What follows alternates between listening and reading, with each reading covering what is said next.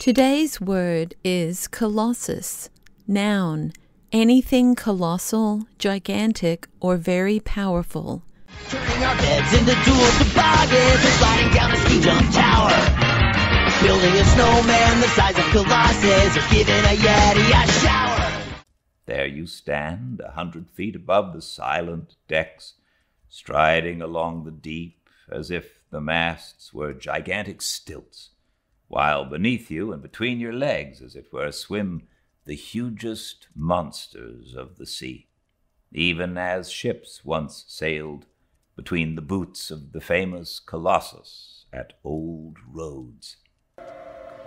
Faster!